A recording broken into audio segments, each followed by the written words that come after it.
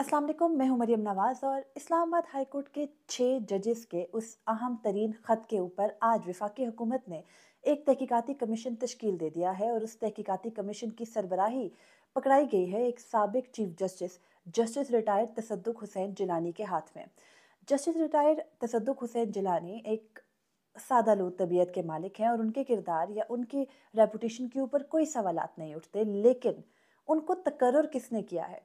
इससे मुतालिक बहुत से सवाल उठते हैं। बहुत से लोग ये बहस कर रहे हैं कि विफाकी हुकूमत ने दो नामों पर गौर किया, जस्टिस रिटायर्ड नासरुल मुल्क और जस्टिस रिटायर्ड तसदुक हुसैन जिलानी और उसके बाद काबीना ने मंजूरी दी इनके नाम की।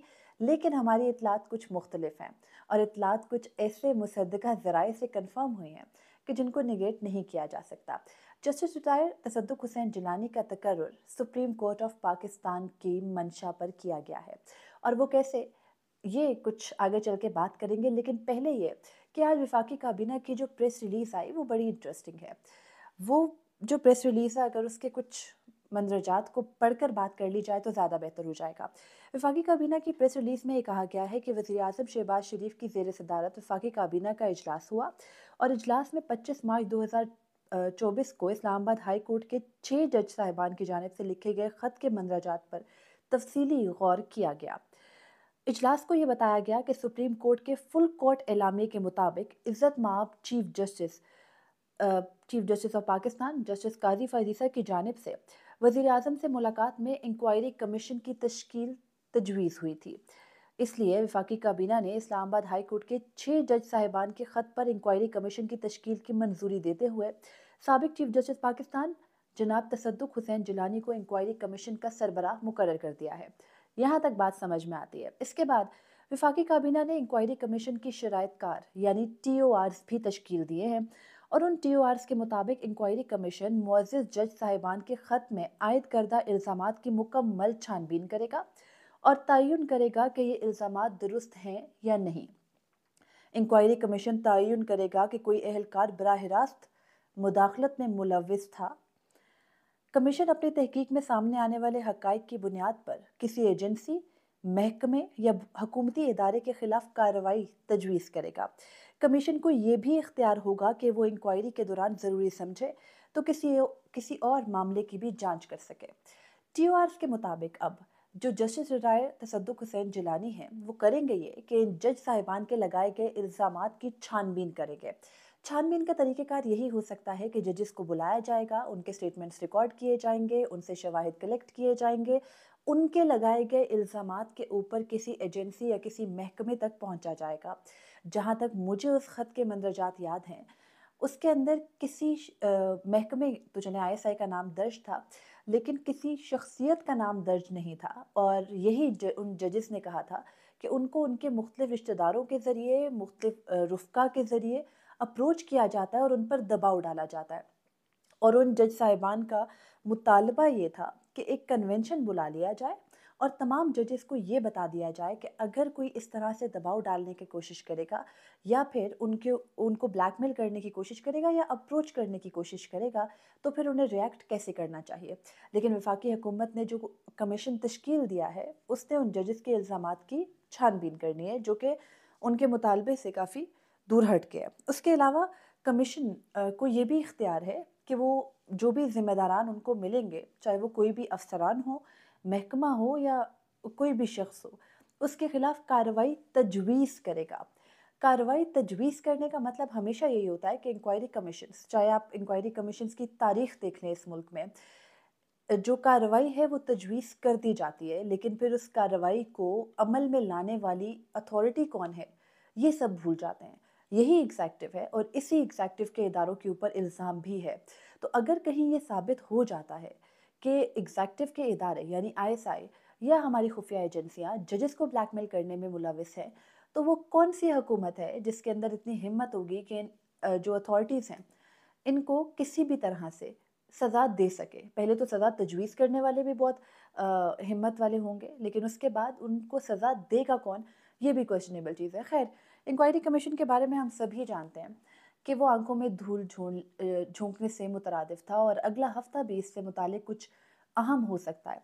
लेकिन खैर, विफाकी काबीना कुछ इंटरेस्टिंग अपना जो उनका एलामिया है, उसके आखिर में कह रही है कि काबीना के अजलास ने मुआज़ छः जज साहिबान के ख़त में एग्जेक्टिव की मुदाखलत के इल्ज़ाम इल्ज़ाम की नफ़ी करते हुए इसे नामुनासिब करार दिया है।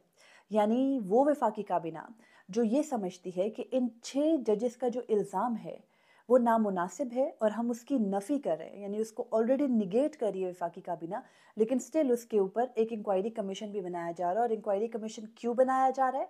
क्योंकि चीफ जस्टिस ऑफ़ पाकिस्तान से वज़ी अजम की मुलाकात में ये तजवीज़ दे दी गई थी और ये एश्योरेंस ले ली गई थी कि इंक्वायरी कमीशन ज़रूर बनाया जाएगा तो फिर ज़ाहिर है, खाना पूरी तो करनी है।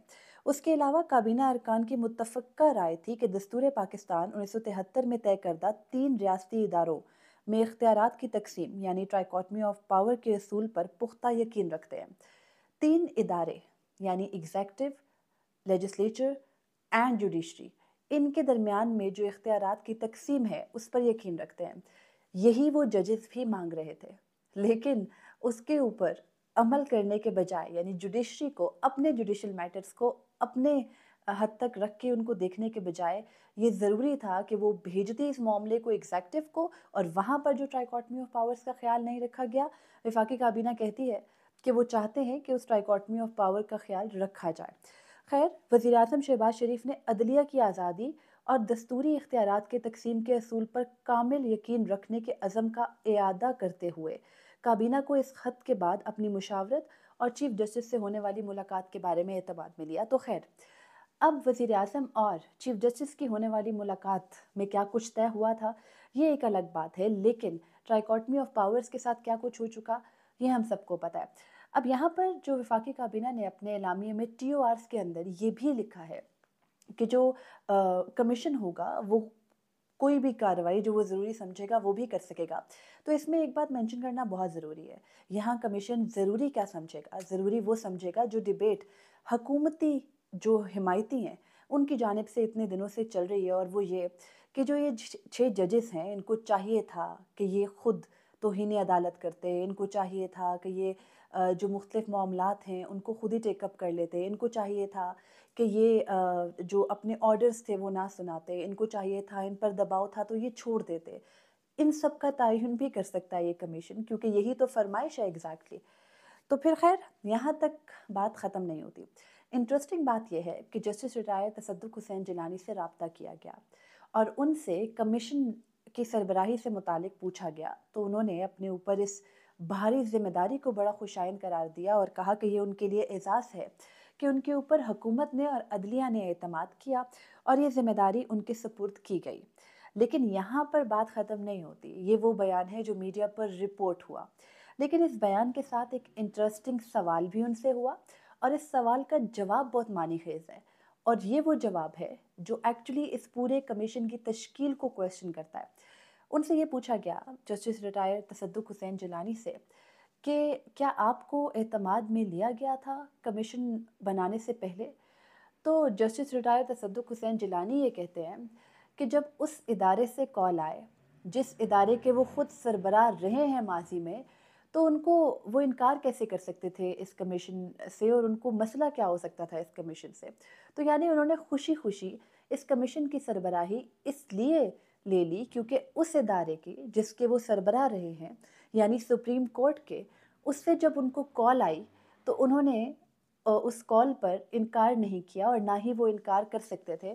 और उनके लिए ये एजाज़ की बात है कि वो छः जजेस के ख़त के ऊपर बनाए गए तहकीकती कमीशन की सरबराही करें।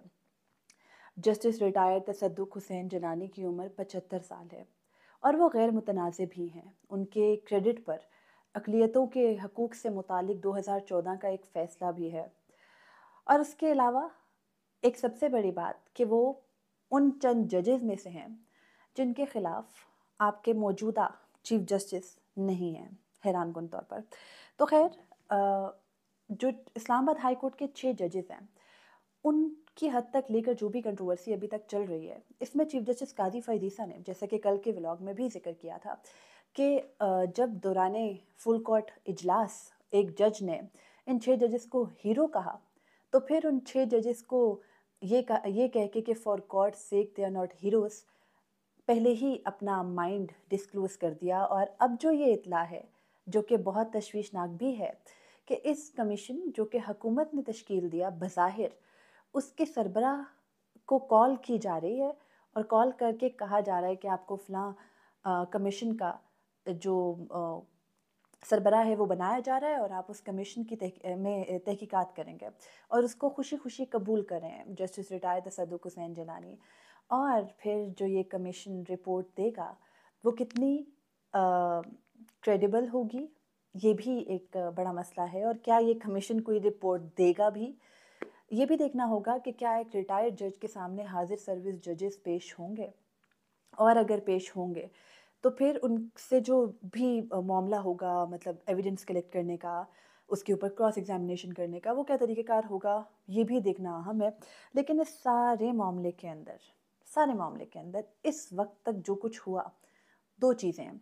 हमारी बार काउंसिल्स अभी जब से कमीशन का तश्कील हुआ है, उसमें बलूचिस्तान बार के अलावा तमाम बार काउंसिल्स ने जो हुकूमत की जानब से कमीशन बनाया गया, उसको इंडोर्स किया है और ये भी कहा है कि पाकिस्तान तहरीक इंसाफ की जानब से चीफ जस्टिस कादी फ़ैदीसा के इस्तीफ़े के मुतालबे पर वो बड़े कंसर्न हैं।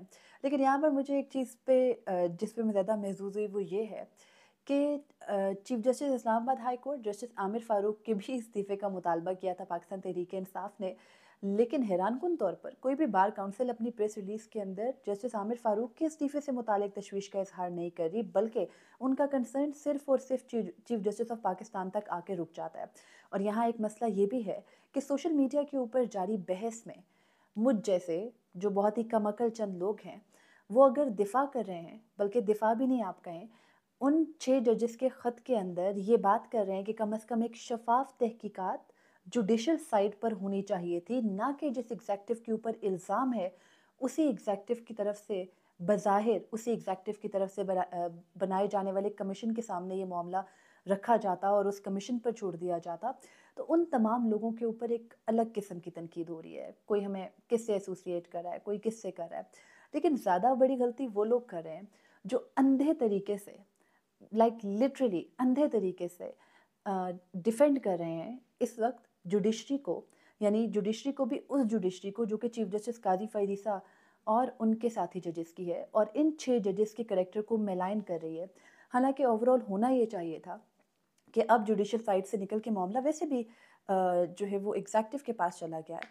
तो फिर बहस को वहीं पर छोड़ देना चाहिए था, ना कि एक दूसरे के ऊपर इतना कीचड़ उछाला जाता कि बाद में अगर कोई भी रिज़ल्ट इसका निकलता है तो एक दूसरे के देख, एक दूसरे को देखने के काबिल भी ना रहते। खैर अब इस तमाम तर बहस के अंदर Pakistan bar council, supreme court bar association, Lahore bar, उम्मीद है कि के पी बार भी जो एग्जैक्टिव की कमीशन बनाने का जो भी तरीक़ेकार हुआ, उसको सपोर्ट कर रही है। लेकिन अंदर से, वकला की जानब से बहुत से सवाल इस इंक्वायरी कमीशन के ऊपर उठाए जा रहे हैं। बार बार ये बात की जा रही है कि जस्टिस रिटायर्ड तसदुक हुसैन जिलानी के किरदार के ऊपर कोई शक नहीं है, लेकिन उनके तकर्र के तरीक़ेकार पे ज़रूर शक है। अब जो ये मामला सामने आया है और ये जस्टिस रिटायर्ड सदुक हुसैन जिलानी ने खुद ही इस चीज़ को कंफर्म भी किया है कि उनको उन्हीं के इदारे से कॉल आई तो वो मना नहीं कर सके। तो फिर ऐसे मामले के अंदर ये इमेजिन करना थोड़ा मुश्किल है कि इस तहकीकाती कमीशन के नतज क्या निकलेंगे। खैर मुश्किल तो नहीं है ईजी है सॉरी कि इस तहकीकाती कमीशन के आ, जो नतज हैं वो क्या निकलेंगे। मुझे इजाज़त दीजिए अल्लाह हाफिज़।